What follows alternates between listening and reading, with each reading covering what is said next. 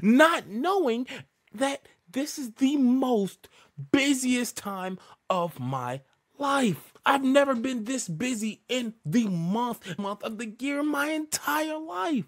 I'm thinking I'll be able to post a video here, post a video there, edit a video here, edit something there, post this, do that, and I can't do it. I can't. So I realized that I need a team of people that have the same loves and beliefs that I do because there's no way I can do it by myself. There are days where I simply don't want to post videos at all. It's not that I don't want to really make a video. The thing is making a video, then breaking down the video, editing the video to its best parts, and then posting it on every single platform individually. I may sound lazy when I say this, but I really wish I could just post a video and it automatically go to all my platforms. I wish I could just post one video and it go to my three TikTok account. I wish I could post one video and it could just automatically turn into a reel on Instagram and on YouTube.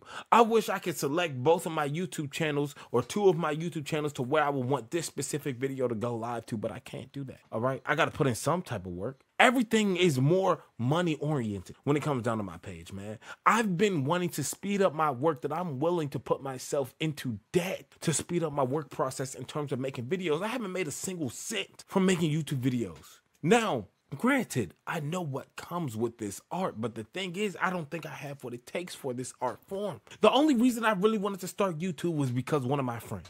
I've been begging one of my friends to be on this YouTube channel with me, and the finally, the time that they did, we got over a hundred thousand views on a video. I don't care if it was